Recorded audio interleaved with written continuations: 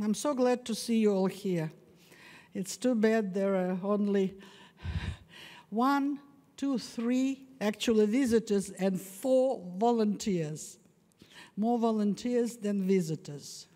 Well, maybe next time TCC will do a better job advertising, things like that, promoting, but so far they didn't succeed, obviously. So this is my last time I'm going to talk about Russia. Well, anyway, добро пожаловать в Россию. I'll try to be brief. Welcome to Russia. Okay, you can see there on the table a samovar, like the one here, just different colors. This was actually given by the mayor of our sister city, Zelenograd, to my relative in Buy Kostroma region, four hours away from Moscow. And that one is mine, was given to me by deputy mayor of Zelenograd. I guess you're all aware of the fact that Tulsa has a sister city in Russia. Huh?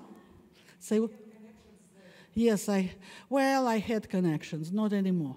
But because the old mayor passed away, the, what the new one is, I know him, he's a friend of my relative, but I don't think they're too much interested in having a relationship. But people are. As you're probably aware, in July, I guess, there were uh, six journalists from Zelenograd. Have you met any of them? Well, you were gone probably, right? But some of you did meet. Well, I met them, and you met. Yeah, they were nice people, and anyway, they are very much interested in trying to promote. There is some literature about Zelenograd and Oh, that's right. We had a dinner here. I forgot. We were all sitting at this table, right? It was a, you know, Global Alliance had a big party, and they were here. Yes, that was nice. Anyway, so samovar, as you know, is very important part of Russia. of course, they don't ever use it. They just keep it for decoration, you know. But I have several. I have one antique one that, I, of course, I'm not going to use. It costs too much.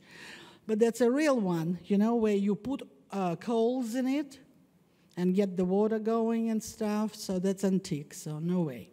I've got this one, but it's not fixed for this voltage. But then I have a simple one that I used before that was fixed or kind of redone for voltage here.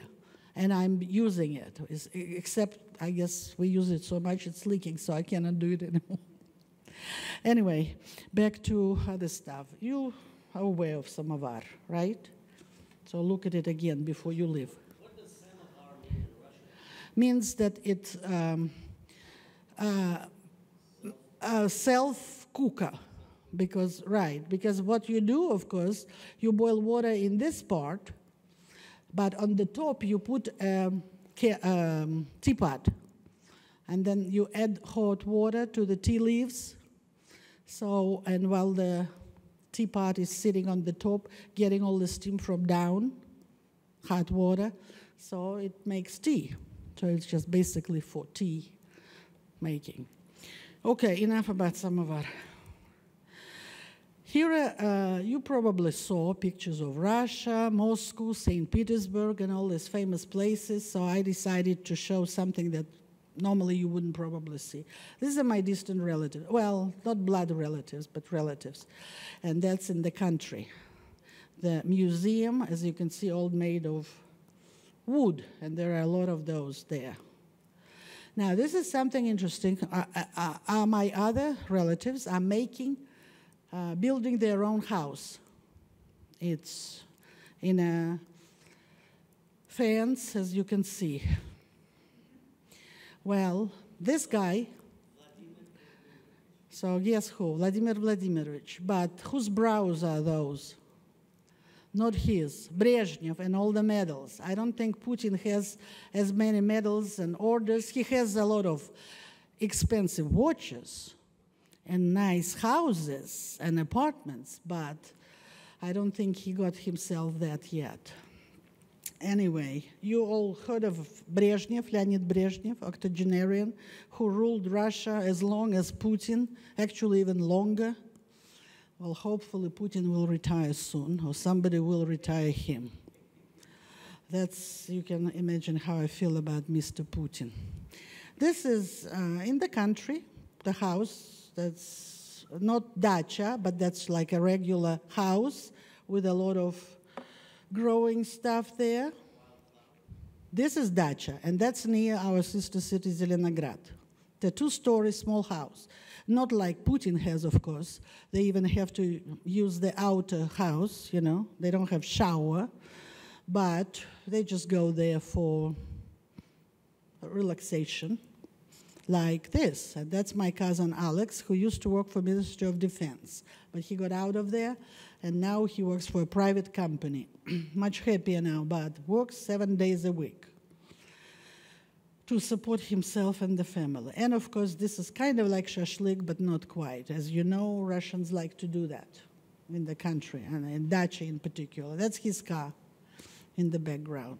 And of course, before the shashlik or any serious meal, we have to have some appetizers. There is some fruit, like lemons, there's bread, and of course, not vodka, but bourbon. For some reason, he is very attached to that drink more than vodka.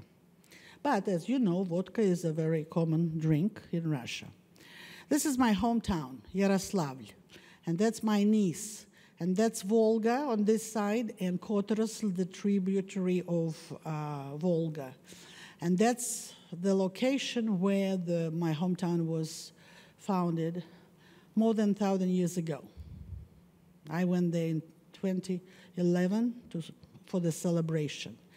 And the, the pagans lived he, here. But then, of course, Yaroslav the Wise, who was already Christian, decided to baptize poor pagans. You know who pagans are, right?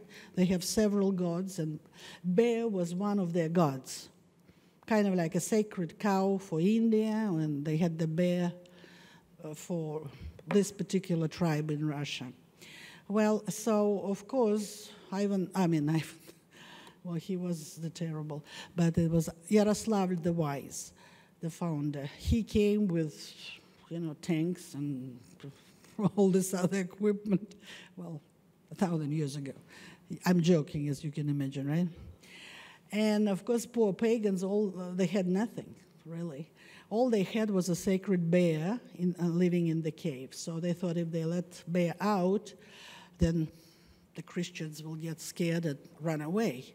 Well, needless to say, Yaroslav the Wise was really wise.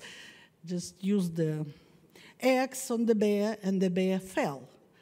So poor pagans gave up and were baptized right there in the rivers there. I don't know how many were drowned, probably, because the way they baptized them was not very nice. Anyway, my niece, uh, can you read what she says on the t shirt? Egoistka. Well, I guess she, you know what egoistka? Egoist. Egoist, yeah. I don't know why she put that kind of shirt, but I guess she is the one. That's Yaroslavl at night with the fountains there, and that's a church, a cathedral actually, that was built for the millennium of my hometown. And it was destroyed, of course, after the revolution, but then they rebuilt it. That's downtown Yaroslavl, and of course, that's not Disneyland, but they have all kind of entertainment for kids and adults. My hometown had a first drama theater founded in my, uh, I mean, the first Russian drama theater was founded in Yaroslavl in 1755. Of course, that's not the original building. It was wooden and it was burned several times. So in 19th century, they built uh, the stone one. That's the cathedral that you saw from in the um, even uh, in the previous. That's more countryside. My relative Luba at the cheese fair. You can see that cheese and a mouse, and that's uh, Berendeyevka Park. That's she with her daughters. And that's one of her daughters makes leather um, pieces like sh- shoes and purses, and that's at the fair. She was kind of advertising her stuff and selling. Sold some. Other people do all other things. Just a small fair, kind of like at the fairgrounds, you know. To add to their either pension for older people or to their salaries, which, as you can imagine, not very high. This is my other relative who lives in Moscow. You already saw her husband making shish kebab. And there was a fair, flower fair in Moscow recently, and you could kind of take a picture in that interesting dress made of real flowers.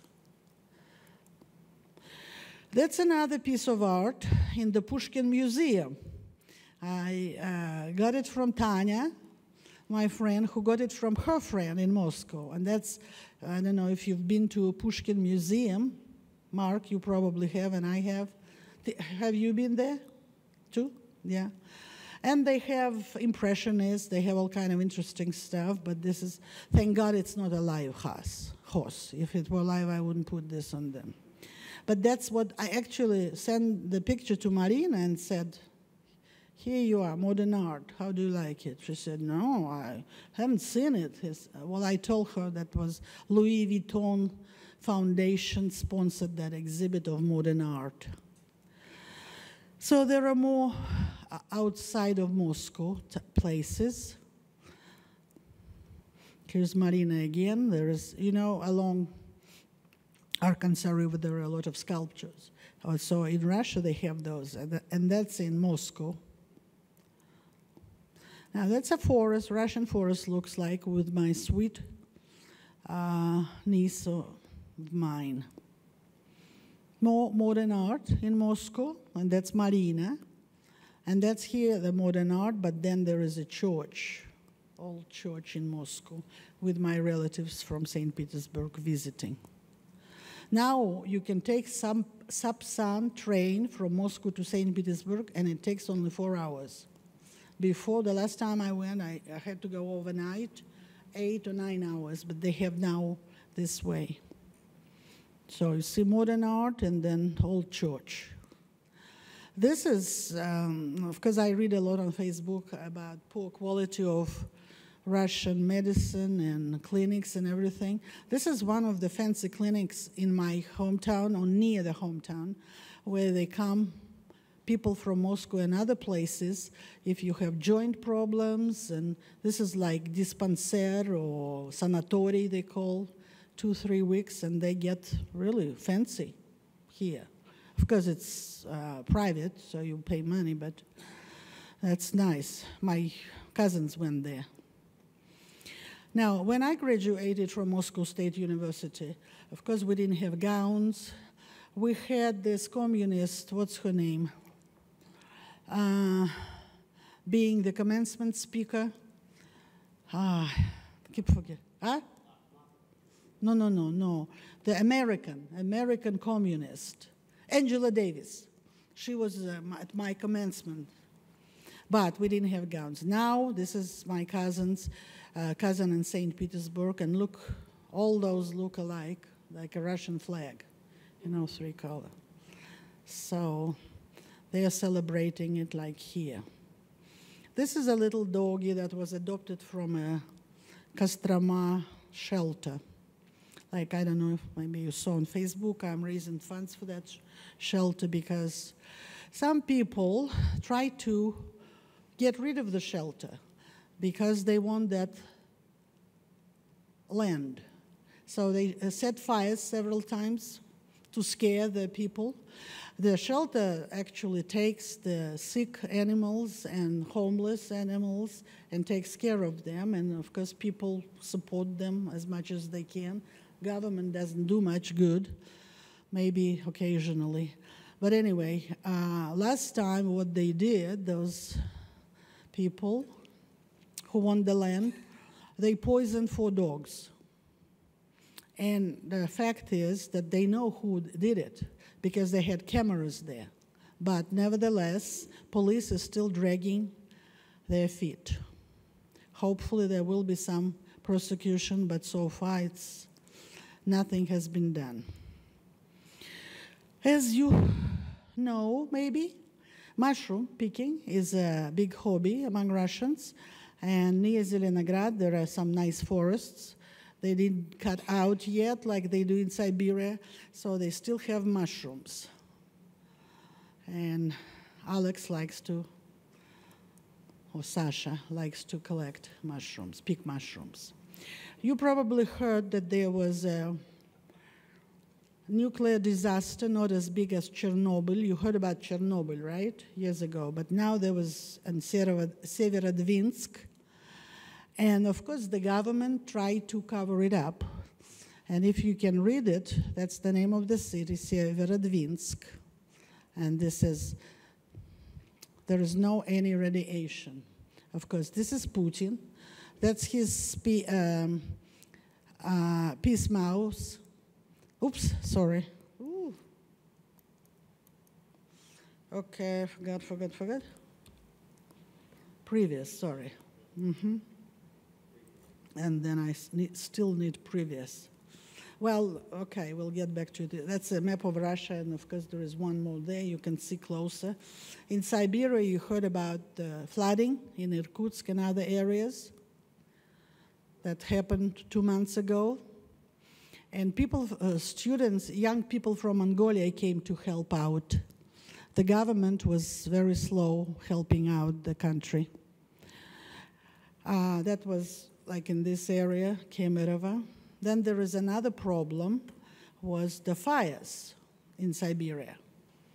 And again, there are some facts showing that um, the forests were cut and then sold cheaply to China.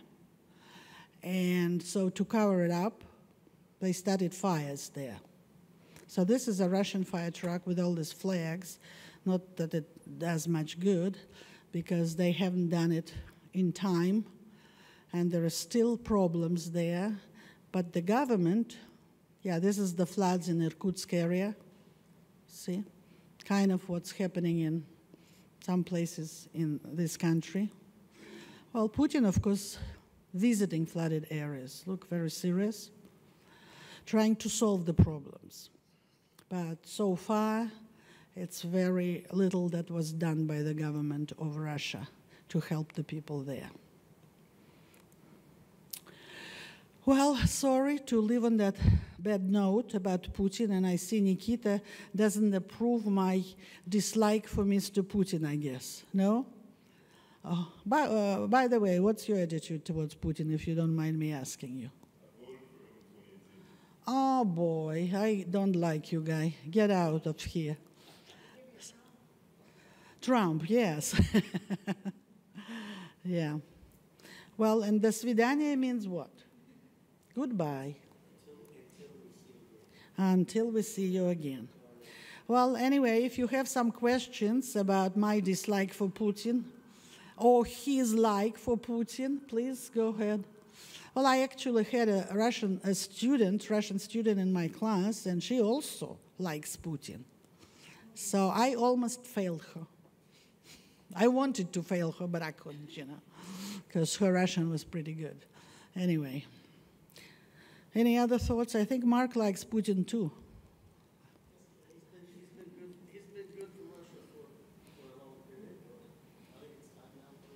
Yeah, I agree. What's the? Not now. Now is much less. Now is like 51 or something. No, his rating's going downhill. No. And I try to promote that too. Well, I hope they stopped recording us. What do you think? I better get out of here. Before Putin Potential students. Well, these two students are taking Russian at TU, but they are volunteering here, which I appreciate very much. Nikita, I don't think needs any Russian, but since he is for Putin, I think you should. Anyway, so no, maybe Tanya decides to take Russia. Eh? Huh? Да.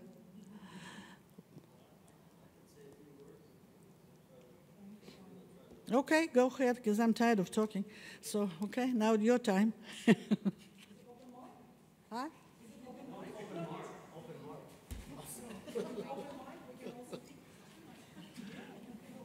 I, I just wanted to say that Irina taught me Russian uh, many years ago. I'm now 54, but so when I was in high school, I graduated high school in 82. So I studied Russian for two years um, after studying French for four years. And then I continued in college for a few years, and then I stopped studying Russian for maybe 10 years.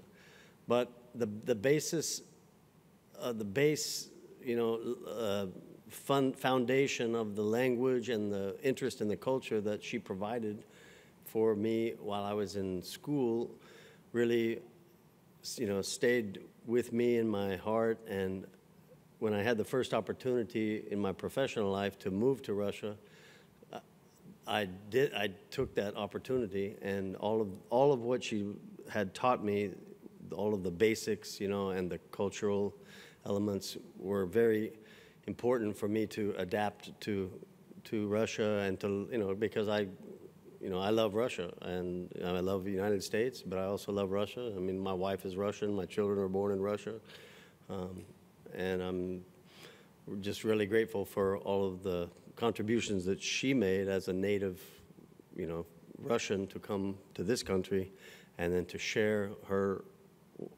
not only knowledge but her the love of her country, you know, with with us so we could appreciate it and then and it led to you know my uh, current I guess situation where I have family and I spent 50, you know 15 17 years in Russia. Um, but uh, in, in no small part thanks to Irina. So thank you, Irina. And thank you for sharing everything you, you have.